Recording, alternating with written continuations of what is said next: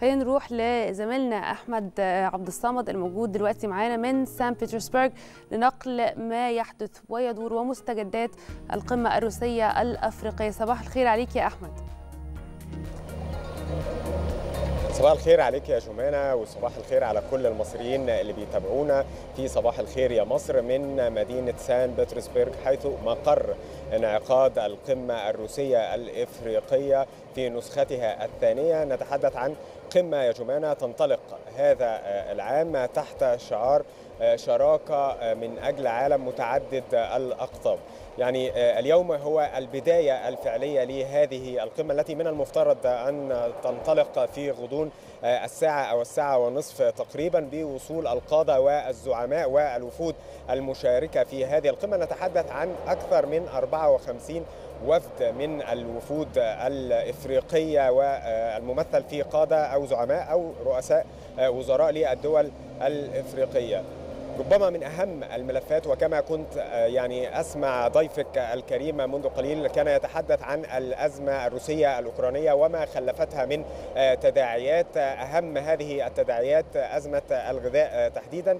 لذلك هو من أهم الملفات المطروحة على طاولة النقاش في هذه القمة الأمن الغذائي. وكيف سوف توفي روسيا بتعهداتها تجاه الدول الإفريقية في توريد الحبوب والغذاء ومتطلبات الأمن الغذائي في القارة السمراء تحديدا. وربما ذلك يتزامن جمانة مع انسحاب روسيا من صفقة الحبوب أو اتفاقية الحبوب. هذه الاتفاقية أو هذا الانسحاب الذي يتضرر منه في المقدمة القارة السمراء. كل دول القارة السمراء ولا نستثني أحد هنا لأن كما نعلم ربما يعني روسيا هي من أهم الدول الموردة للحبوب تحديدا. فإذا ملف الأمن الغذائي من أهم الملفات التي سوف تناقش وتطرح على طاولة النقاش. كما قلت لك سوف تبدأ هذه القمة بوصول القادة ثم الصورة التذكارية ثم انطلاق المنتدى الروسي الاقتصادي الإنساني الإفريقي الذي يعقد على هامش هذه القمة. هذا يعني المنتدى الذي سوف يناقش العديد من التداعيات الاقتصادية والبعد الإنساني لها. وبطبيعة الحال سوف نجد أن تعهدات توريد القمح العادل سوف تكون مدرجة على هذه القمة الاقتصادية الإنسانية تحديدا. ثم يعني يتم اجتماع روسي بالجانب الروسي مع تكتل أو يعني تكتل نبات تحديدا الذي يرأسه السيد الرئيس عبد الفتاح السيسي. وبالامس كان هناك اجتماع ثنائي ما بين الرئيس المصري السيد الرئيس عبد الفتاح السيسي ونظيره الروسي فلاديمير بوتين. ربما جمانة يعني دلالة قوة ومتانة العلاقات ما بين البلدين وما بين الزعيمين أيضا بأن الرئيس الروسي لم يلتقي بأحد بالأمس سوى السيد الرئيس عبد الفتاح السيسي وهو ما يعكس عمق العلاقات وقوة ومتانة هذه العلاقات ما بين شخص السيد الرئيس ونظيره الروسي. وكما نعلم أن كانت هناك علاقات صداقة قوية ما بين الرئيس ونظيره.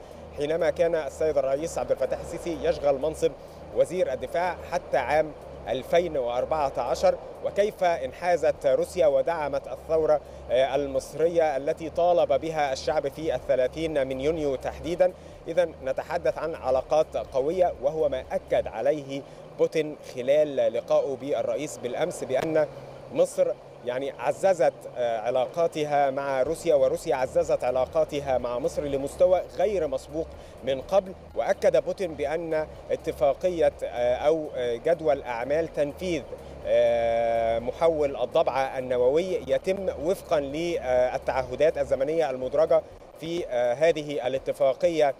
تحديدا والتي تعكس اهتمام روسيا بإفريقيا بشكل عام وبالأخص مصر في يعني البنية التحتية الكهربائية تحديدا.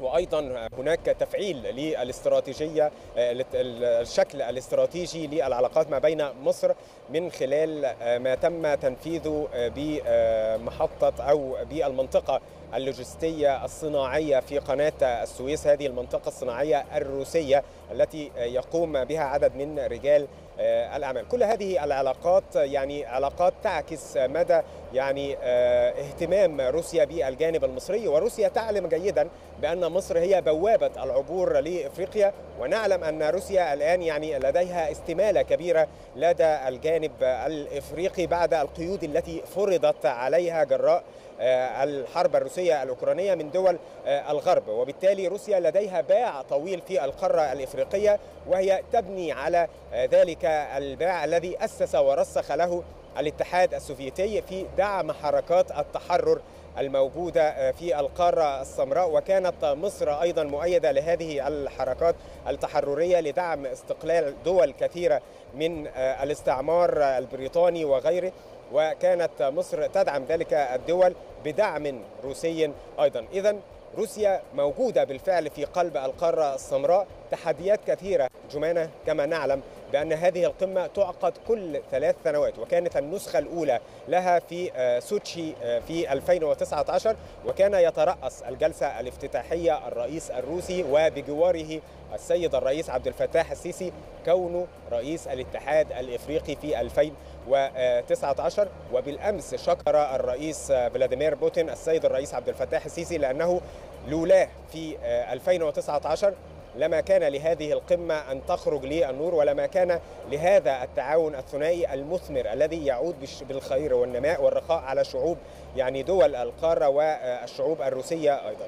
نتحدث أيضا عن ملف في غاية الأهمية لم يكن مدرج على طاولة النقاش في 2019 ولكن المتغيرات الجيوسياسية والمتغيرات الإقليمية والدولية فرضته ملف الرعاية الصحية جمانة لأن قمة سوتشي لم يكن هناك وباء كورونا وهو وباء ضرب العالم كله بعد هذه القمة تحديدا وخلف تحديات كثيرة في مجال الصحة. لذلك هذا المجال هذا الملف من الملفات الهامة التي تنعقد وتناقش في اجتماعات القادة اليوم.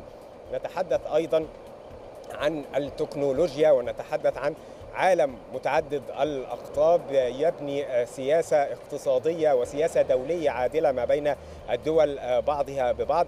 نتحدث عن ملف دعم وتمكين المرأة والثقافة والإعلام والرياضة كون هذه المجالات التي نطلق عليها القوى الناعمة. كون هذه المجالات هي مجالات تحقق نوع من أنواع الصداقة المتينة ما بين الشعوب. طبعا زميل عزيز أحمد عبد الصمد بنشكرك جزيل الشكر والصورة تتحدث عن نفسها والحقيقة واضح إنه التغير المناخي والقبة الحرارية طالت سان بيترسبرغ أيضا كما هو واضح يعني في الصورة. بنشكرك جزيل الشكر.